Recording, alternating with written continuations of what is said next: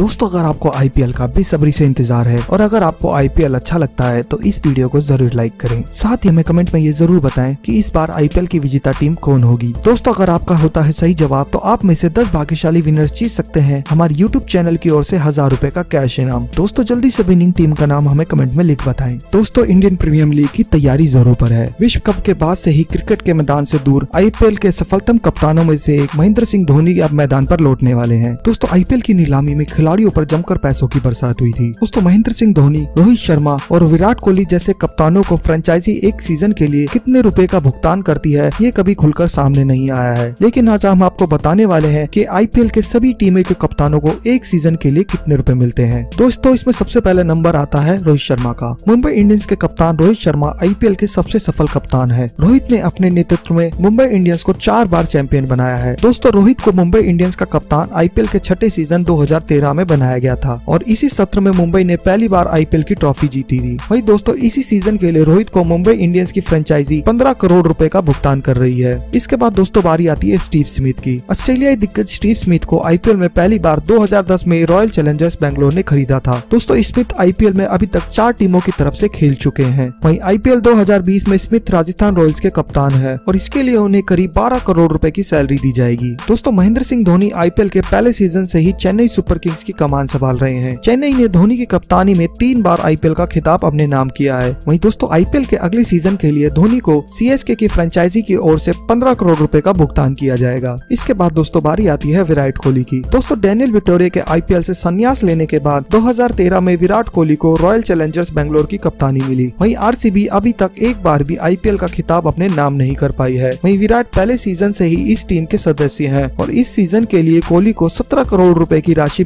बैंगलोर की फ्रेंचाइजी से मिल रही है। दोस्तों, वहीं आईपीएल के सबसे युवा कप्तान श्रेयस अय्यर को 2018 में गौतम गंभीर को हटाकर दिल्ली कैपिटल्स का कप्तान बनाया गया था। वहीं आईपीएल के बारहवें सीज़न में दिल्ली सात साल के बाद अय्यर की कप्तानी में सेमीफाइनल तक पहुँच गई थी। वही अगले सीज़न के लिए अय्यर को सात करोड़ रूपए दिल्ली कैपिटल्स की फ्रेंचाइजी की ओर से मिलेंगे। वहीं दोस्तों किंग्स इलेवन पंजाब ने एक बार फिर से अपने कप्तान बदले हैं। 2020 के सीज़न के लिए फ्रेंचाइजी ने के राहुल को टीम की कमान थमाई है। वहीं राहुल ने भी अभी तक आईपीएल में कप्तानी नहीं की है। दोस्तों राहुल को इस सीज़न के लिए पंजाब की फ्रेंचाइजी से 11 करोड़ रुपए मिलेंगे। वहीं दोस्तों, न्यूजीलैंड की टीम के कप्तान केन विलियमसन को 2015 में सनराइज हैदराबाद ने खरीदा था। वहीं 2018 में डेविड वार्नर की गैर गो मौजूदगी में विलियम्स को हैदराबाद की कप्तानी थमाई गई थी। दोस्तों, आईपीएल में पहली बार कप्तानी करते हुए विलियमसन ने टीम को फाइनल तक पहुँचा दिया था। हालाँकि फाइनल में टीम को हाम का हार का सामना करना पड़ा। दोस्तों, वही आईपीएल 2020 के लिए विलियमसन को तीन करोड़ रूपए का भुगतान किया जाएगा। वही दोस्तों, साल 2018 में दिनेश कार्तिक को कोलकाता नाइट राइडर्स ने खरीदा। और टीम की कप्तानी सौंपी। दोस्तों, कार्तिक टीम को प्ले तक ले जाने में सफल भी रहे। वहीं तेरहवे सीज़न में भी कोलकाता की कप्तानी कार्तिक ही करने वाले है। इसके लिए उन्हें साढ़े सात करोड़ रूपए मिलेंगे। दोस्तों, वही कार्तिक आईपीएल में अब तक छह टीमों की ओर से खेल चुके हैं। तो दोस्तों, ये थे आईपीएल टीम के कप्तान और उनकी सैलरी दोस्तों, आपको ये वीडियो कैसा लगा, हमें कमेंट में ज़रूर बताएँ। साथ ही अपनी फेवरेट आईपीएल टीम का नाम हमें कमेंट में ज़रूर बताएँ। और इस वीडियो को लाइक करके हमारा चैनल भी सब्सक्राइब कर लें। धन्यवाद।